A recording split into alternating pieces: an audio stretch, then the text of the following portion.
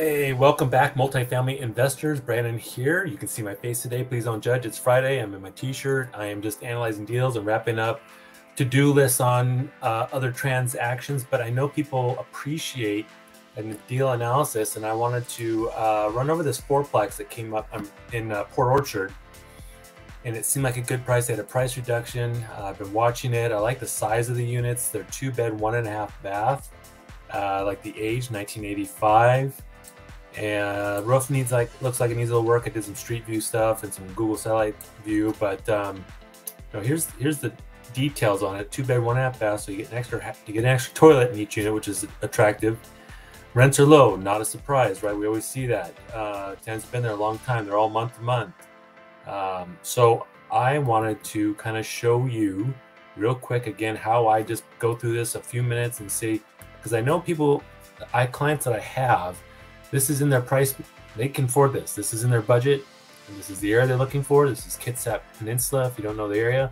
Uh, Port Orchard's over there by Bremerton, so you get some Navy uh, tenant pool over there. But let's, uh, let me show you this. So it's a million dollars, right? 25% down. I pre-filled this in so I could keep this video uh, brief. 25% down is $250,000. Now I budget some CapEx. Everybody's a little bit different. I, I think you should go in with a little bit of uh, reserves, right? When you buy a property on something like this, maybe 10,000, could be five, could be 15 if you'd like. Um, as of today, May 5th, happy Cinco de Mayo, uh, we are looking maybe six and a half or so for rates. Okay.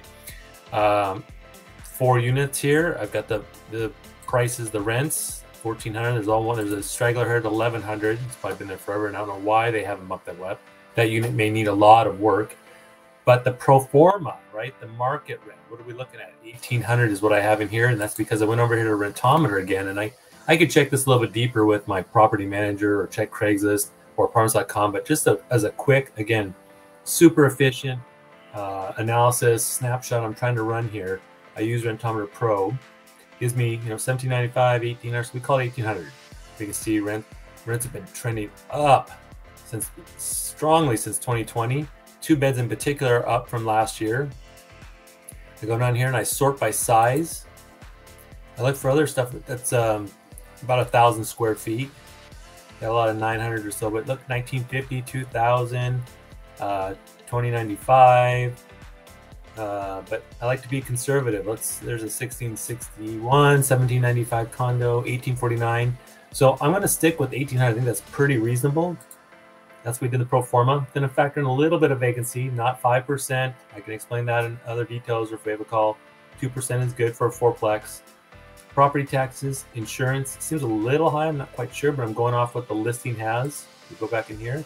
this is how I, how I generate a quick snapshot is whatever the listing agent enters, then I can use taxes, insurance, okay, rents. Some of this we have to ballpark a little bit if you're tracking with me here, 6120. Now, why did I do uh, a little a lot about $24 less on the pro forma? The reason is because I think you could do 1850 and still build back approximately $50 a unit, which is $200 a month, which is $2,400 a year, which is why you should be billing back for your water, sewer, garbage on your properties if, if at all possible, legal in your area. Um, definitely out here in Washington, this is a trend, and it's good to help tenants be conservative in their use, right? Because they'll be it'll be on top of mind because they're paying part of it instead of just taking hour-long showers and running six loads of laundry a day or whatever it is. Okay. Uh, management fee. Uh, my office in particular is offering $85 a door right now, so that comes out to be 40 80 a, month, a year. Now, if you self-manage, that's a, that's a close to 350 a month. You could add to your pocket. Currently, going over here, it shows it's running about 1469 negative. So that's what I'm saying. If you self-managed, you'd be about a thousand dollars a month negative. Terrible, right? Million dollars, 25% down. Pro forma, if paid full price, 25% down. You got the rents up. Uh, you recaptured some of that utility, and I, am budgeting about 24 a year, 200 bucks a month in repairs, maintenance, and maybe some landscaping. Again, if you did that yourself, you could save another 100 bucks a month. But I think as is, you would be going from about 1500 negative, which is pretty steep, and I wouldn't I wouldn't suggest anybody run too long at that, right?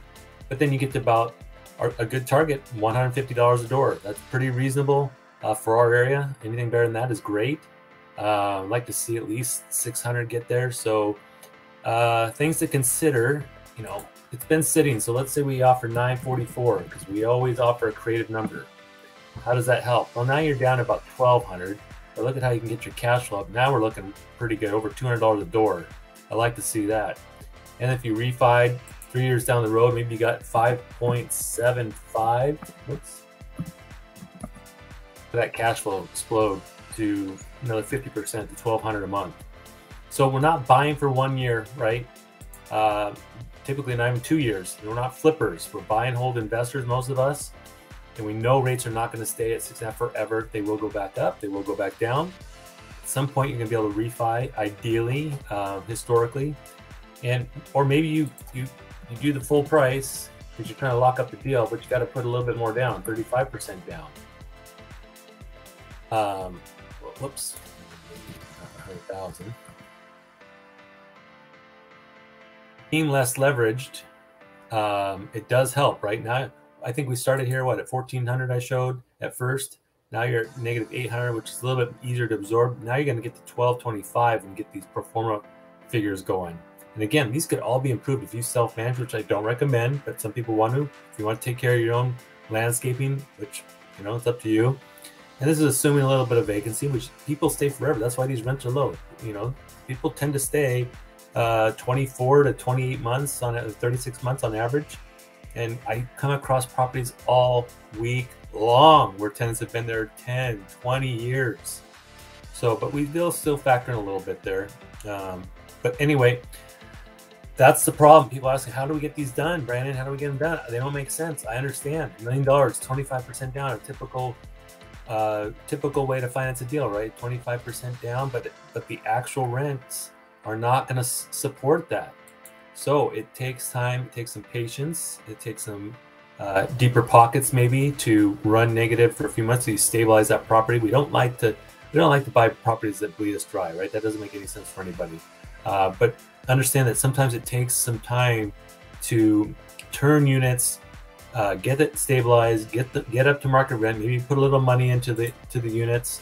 They didn't really show any pictures, but it's you know it's kind of dated. But um, some of these are nice. I did my video earlier about new listings or back on market.